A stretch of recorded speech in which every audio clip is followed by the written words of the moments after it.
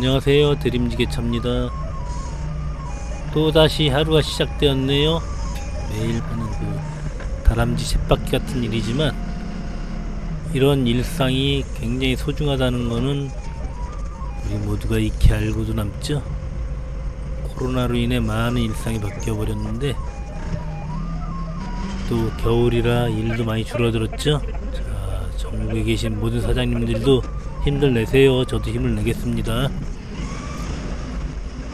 요새는 겨울치고는 많이 따뜻하죠? 12월인데도 마치 봄처럼 눈밭이 다 녹아갖고 지게차가 들어갈 수가 없을 정도예요. 자 지금 피트니스 센터 바닥재를 하차를 하고 있는데요. 요거는 이제 다른 곳에서 쓰던 제품을 가져오는 거기 때문에 포장이 좀 높죠? 파레트 자체가 높고 또 밑에 파레트가 부실합니다. 그래갖고 지금 하나씩 가지고 내려가고 있어요. 이렇게 후진으로 내려갈 때 위험하지가 않은데 입구에서 회전을 할 때 한쪽으로 넘어갈 우려가 있죠? 지금 최대한 조심조심 하면서 내려가고 있습니다. 요거 한 차고 새 제품 한 차가 있습니다. 그거는 얼마 되지 않는데 일단 하차를 한 다음에 나중에 저 안으로 또 집어넣어 줘야 돼요. 그러다 보니까 시간이 많이 또 흐르더군요. 피트니스센터 오픈하는 곳인데 이것도 지금 코로나가 이제 어느 정도 잡혔다고 생각해서 그러면서 헬스클럽도 또는 피트니스 센터가 정상 거의 정상적으로 영업을 하고 있는데 그래서 참 시기가 좋진 않습니다. 제가 또 작업한 곳은 대박 나길 바랄 수밖에 없죠. 대박 났으면 좋겠습니다. 일단 다 하차를 해놓고 하나씩 가지고 내려갑니다. 여기서 이제 회전할 때가 지하 주차장은 여기가 가장 위험하죠. 회전하다 보면 왼쪽이 좀 높아져 버리는데 뭐 오른쪽으로 기울어져 버릴 수가 있거든요. 앞에 차량만 없으면 완전히 회전을 한 다음에 후진하면 되는데 차량이 또 여기 주차돼 있어 또 그게 안 돼요 이게. 어쩔 수 없이 그래서 위험을 무릅쓰고 작업을 하고 있는 겁니다. 자 이제 또 발을 좀 빼야죠. 너무 깊이 들어갔으니까.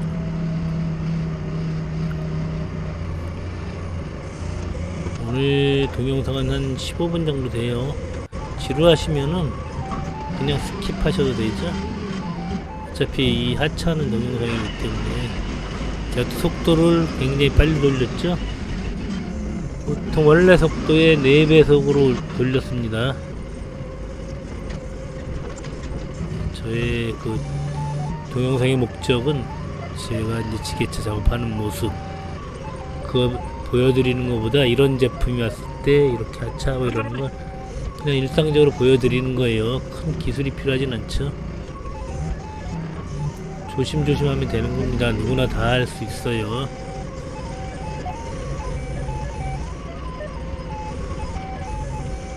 지금 이 파레트 지금까지 내려가는 파레트들이 지금 영상으로는 그 뭐 별거 아닌 것 같은데 저게 지금 파레트 굉장히 부실하고 높, 높습니다. 높고 내부를 감싸져 있는데 저게 잘 넘어가는 짐이에요 사실이요. 이 정도 높이로 된 짐들이 잘 넘어갑니다. 물론 평지 탄탄한 그 바닥이 탄탄하고 평평한 곳에서는 그럴 일이 없는데 이제 예전에도 항상 말씀드렸다시피 영업용 지게차가 일하는 곳은 그런 곳이 아니죠. 이런 개 전하는 거 이런 게가 이런 곳이 굉장히 위험한 곳이죠. 이제 그거는 구제품은 하차가 다 끝났고 이제 신제품을 하차해야 되는데 그 차가 이 안에까지 못 들어옵니다. 윙바디기 때문에 그 높이 때문에 여기 들어오면은 문을 열지 못해요. 재래시장 있기 때문에 전선줄이 좀 낮게 깔려 있거든요.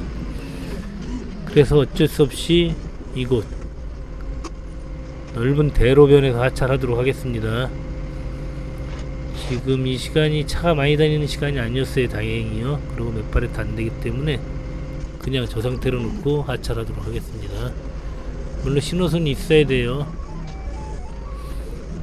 일단 그 횡단보도 신호 빨간불일 때 차가 안 지나갈 때 그때를 이용해서 하차를 하도록 하겠습니다. 지금 이제 우리 관장님 보고 신호를 해달라 그랬죠? 자, 지금 굉장히 빨리 돌, 돌아가니까 위험해 보이지만 사실은 아니에요. 굉장히 천천히 움직이고 있어요. 충분히 위험을 감지할 수 있죠. 제가 천천히 움직이기 때문에.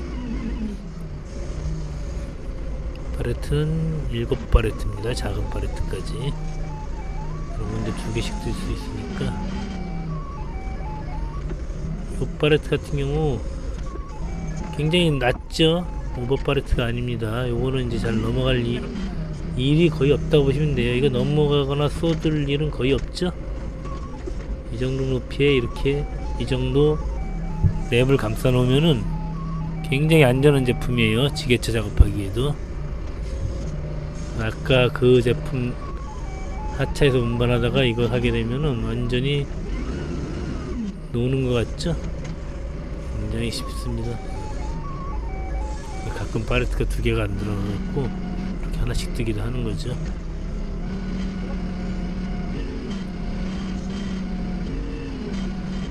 자, 이곳은 지금 일방 통행로이기 때문에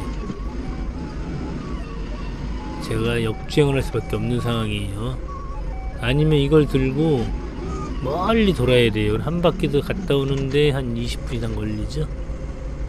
그래서 어쩔 수 없이 역주행을 할 수밖에 없습니다. 저쪽 반대쪽이 한쪽 골목은 막혀 있기 때문에 거의 차가 안 지나다니죠. 그래서 지게차 작업하는데 큰 무리가 없습니다. 다른 분들한테 많은 피해를 주지도 않고요. 자, 이렇게 해서 갑니다 그냥 가는데 시야가 굉장히 좋죠. 이 파레트가 높이가 이렇게 시야가 좋아야지만 지게차가 전진으로 갈 수가 있겠죠. 만약 아까처럼 높으면은 전진으로 갈 수가 없습니다. 더군다나 도로나 이런 곳은 행인도 많이 다니고 또 차량이 어디서 튀어나올지 모르거든요. 자, 어쨌든 작은 파레, 얕은 파레트지만 역시나 여기 회전할 때는 천천히 이동할 수밖에 없어요.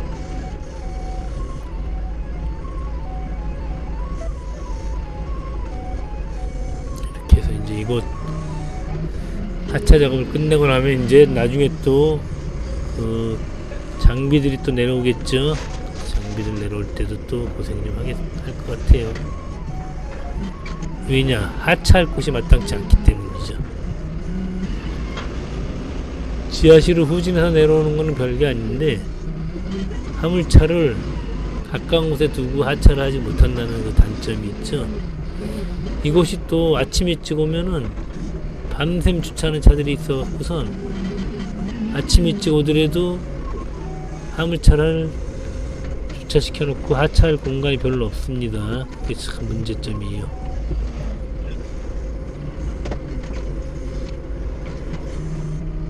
오늘 이제 여기는 뭐 몇 바레트 안 되니까 이런 식으로 하차를 했죠.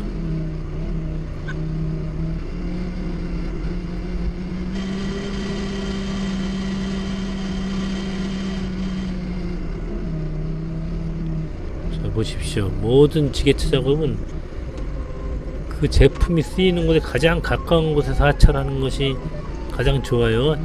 할 수 있는 곳 가장 가까운 곳에서 하차를 해야죠. 운반하는 거리가 멀면 멀수록 위험도 커지는 거고 하기 때문에 가장 가까운 곳에서 하차를 해야 되는데 이곳은 현재 5톤 윙바디 같은 경우 이 근처까지 들어오질 못합니다. 들어와도 문을 못 연다는 얘기죠. 카고 같은 경우는 가능할 것 같아요. 그러나 그 큰 차가 막고 있으면은 이 골목에 또 지나다니는 차들이 있는데 그 차들이 지나갈 수가 없겠죠. 자 이제 이 안에 하나 넣어주도록 하겠습니다. 문 사이로 집어넣어 줘야 되는데 여기 이제 문은 문틀은 마감이 다 끝난 상태예요. 스텐으로 다 씌워져 있죠. 저거를 건드려서 스텐을 찌그러뜨리면 안 되겠죠. 마감이 다 끝난 상태에서 작업할 때는 신중을 기해야 됩니다. 저기까지만 집어넣어주면은 저기서부터는 이제 hand pallet 갖고 가지고 들어가죠. 이렇게 올라올 때 또는 도로로 나갈 때 지나가는 사람을 언제나 조심해야 된다는 거 상식처럼 배워버렸어야 돼요.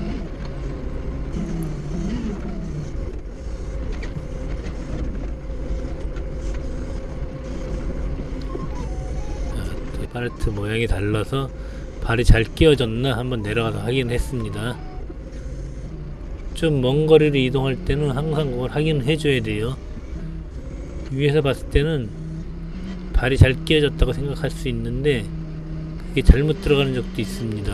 그거 이제 확인 안 하고 이렇게 먼 거리를 가다 보면은 중간에 쏟아질 수도 있죠. 항상 조금 운반해야 되는 거리가 된다 그러면은 내가 나를 믿지 말고 눈을 확인하세요. 나를 믿지 말고 내 눈을 확인하시기 바랍니다. 자, 그래서 내려가서 확인해 갖고 발을 제대로 잘 꽂아 갖고 내려가고 있죠. 그 상황을 조금만 게을리하면은 그게 사고로 이어진다는 거. 지게차하려면 좀 부지런해야 되는 것 같아요. 그래서 항상 확인하고 또 확인하고 꽤 많은 카메라를 설치해 갖고 이것저것 확인하는 것도 다 그런 의미가 있는 거죠.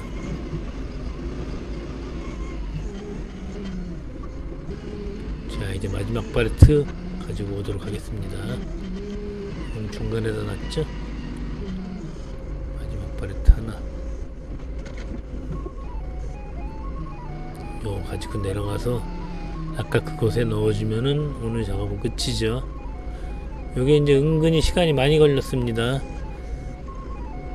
아까 그 지하실 입구에서 하- 작업할 때는 금방 했는데 이게 이제 멀리 큰 도로에서 하차해갖고 운반하다 보니까 시간이 초과가 됐어요.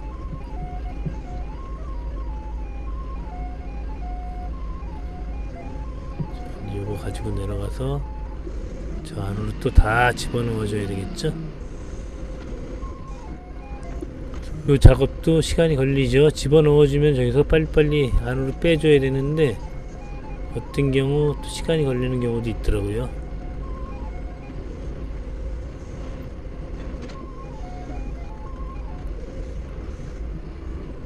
잘 들어가고 있죠. 이렇게 해서 이것은 이런 식으로 마무리까지 다 끝났습니다. 아마 지금쯤은 오픈했을려나 모르겠네요. 오픈해서 대박 났으면 좋겠습니다. 근데 운동이라는 게 저는 요즘에는 그 아파트 관리실에서 그 하고 있는 아파트 그 센터를 이용하고 있는데 굉장히 가격이 싸죠. 그리고 집에서 걸어서 한 3분 걸리기 때문에 굉장히 좋은 조건인데 이상하게 그 운동을 할 시간이 없는 거 있죠. 참 희한합니다. 운동이라는 게 계속 가서 출근 도장이라도 찍어야 되는데 한 번 안 가기 시작하면은 한 달, 두 달, 6개월 금방 지나가 버리죠. 지난번에 3개월 끊어놨는데 한 번도 못 가고 3개월이 지나가 버렸습니다. 운동 한 번 한다는 게 굉장히 쉽진 않은 것 같아요. 진짜 굳은 마음을 가지고 해서 진짜 귀찮더라도 운동을 해서 건강하게 살아, 살아가는 게 참 좋은 것 같아요. 저도 이제 진짜 내년부터는 큰맘 먹고 운동하러 다니도록 하겠습니다. 여기 잘 안 들어져. 다시 한번 들어주고. 자, 내년부터는 다들 운동 열심히 합시다. 저만 하는 게 아니고 다 같이 해야죠. 자, 오늘도 안전운전 하세요. 감사합니다.